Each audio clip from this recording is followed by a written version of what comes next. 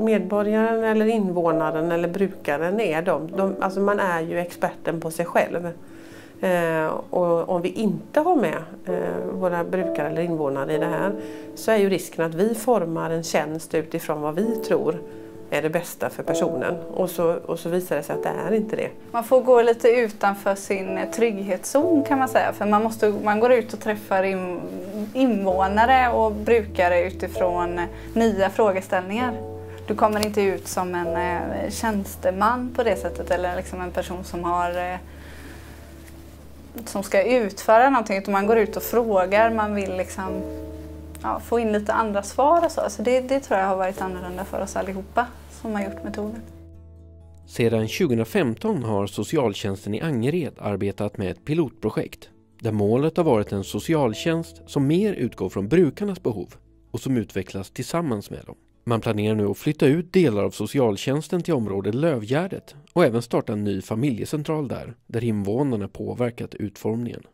Angereds socialtjänst har utgått från det som kallas tjänstedesign eller användardriven innovation, där mycket av arbetet följer samma process som Innovationsguiden. Vi har eh, börjat arbeta med ett ar nytt arbetssätt där vi eh, mera utgår ifrån eh, invånaren, eh, brukaren, klientens eh, uttalade önskemål om vad de vill ha för insatser av oss. Eh, vi har naturligtvis lyssnat på, på våra brukare och våra invånare tidigare också. Men då har, vi, då har vi frågat mer utifrån att de här, de här svaren vill vi ha och det är det här vi behöver veta utifrån en utredning till exempel. Nu, nu vill vi se lite mer vad är det man behöver liksom i, i, eh, som, som invånare för att, för att ha ett, en, en bra tillvaro. Liksom.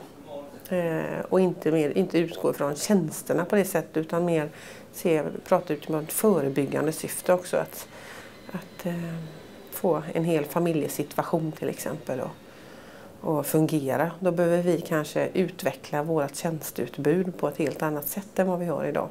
Inte så insatsstyrt. Ett första steg i en sån här process är att själv börja förstå de vi vänder oss till och inte utgå från vår egen verksamhet. Det kan göras på många sätt, genom intervjuer, observationer, dagböcker hos brukare. Huvudsaken är att vi med ett öppet sinne försöker förstå behoven. För socialtjänsten i Angered handlade samtalen och undersökningarna med brukarna mycket om vilket bemötande medborgarna fick när de kom till socialtjänsten. Och det gav ett antal insikter där vi såg att vår socialtjänst är väldigt, väldigt stor och inte så lättillgänglig för våra invånare. Eh, man hade svårt att förstå sambandet när man var hos oss. Eh, till exempel så, så när du kommer till oss så, så blir du, kan du bli lätt passiv. Eh, utifrån att du vet inte vad du förväntas utav dig. vi har uppbyggt vår verksamhet, och vår organisation väldigt mycket på utifrån specialiseringar för att vi är så stora. Eh, och inte eh, eh, utifrån att vi har frågat kunden eller brukaren vad är det ni vill ha utav oss? Vad skulle underlätta för dig när du kommer och tar kontakt med oss? Att sen gå från de här insikterna till konkreta lösningar är en lång process där man utgår från de insikter man fått, sammanställer dem och med olika metoder hittar en bred mångfald av idéer som är tänkbara lösningar. Det man gör då är ju att vi har satt oss eh, tillsammans, vi medarbetare som var ute, vi har varit ett gäng på fem personer. Och så har vi tittat på de olika liksom, underlagen. Och så har vi med hjälp av olika metoder, så som kundresan var väldigt viktig för oss att göra, eh, börjat stolpa upp eh, vad ser man är, eh, funkar bra, vad känner man sig trygg i eh, och vad funkar mindre bra, vad känner man sig inte trygg i. Och så har vi, eh, då kan man ju liksom se olika eh, kluster och trender. Och det är utifrån de här klustren och trenderna som vi sen har gått in i liksom idégenereringen.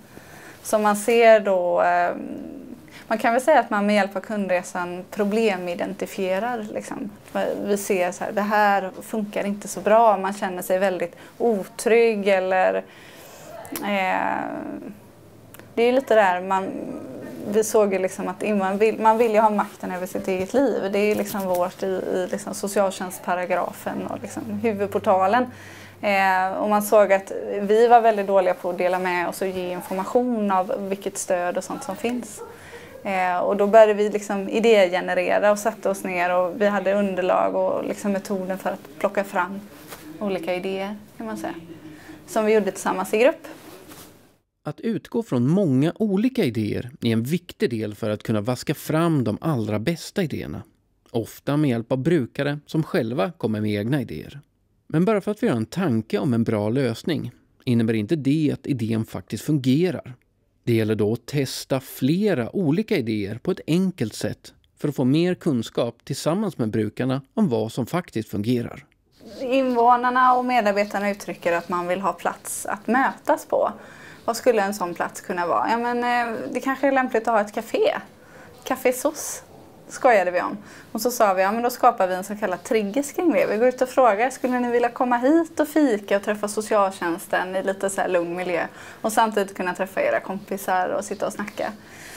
Ehm, så vi skissade upp ett sånt koncept och det gör man ju liksom. Vi ritade och hade oss och var väldigt kreativa vi, vi i gruppen som lärde oss metoden. Och gick upp och gick ut till övriga och sa, ah, vad tycker ni om den här idén med kaféet? Och så här. Nej, det var ingenting som var intressant. Det var inte det man ville ha. Man vill inte gå till socialtjänsten och fika. Utan man vill komma dit och liksom få ställa frågor och få råd och få stöd i, snarare. Men inte, inte sitta ner och ha ett café. Och, eh, det är väldigt spännande för vi kanske hade gått vidare annars med den kaféidén och så hade ingen kommit dit och vi hade inte förstått varför. Med erfarenheterna från den här processen flyttar förvaltningen ut delar av socialtjänsten till Lövgärdet i norra Angered och öppnar en ny familjecentral. Och det vi då just nu vet, eh, det kommer vi att fylla eh, de lokal, tilltänkta lokalerna i Lövgärdet med och starta igång en verksamhet där eh, i någon form här under senhösten. Och sen kommer den behöva förändras, den kommer behöva fyllas på under tiden. Och det måste man också vara öppen för att det vi startar med i Lövgärdet, det kanske inte ser ut som ett halvår. Då kanske det är någonting annat eller vi har lagt till någonting.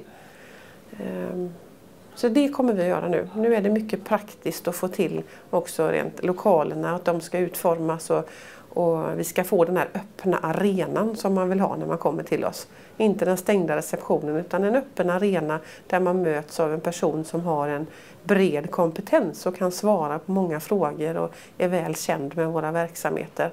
Eh, och som kan ge de svaren som, som man undrar över när man kommer till oss. I Angereds socialtjänst jobbar man vidare med att både samla in och testa idéer på fler områden där tjänstedesign och brukardelaktighet ligger till grund för mycket av arbetet.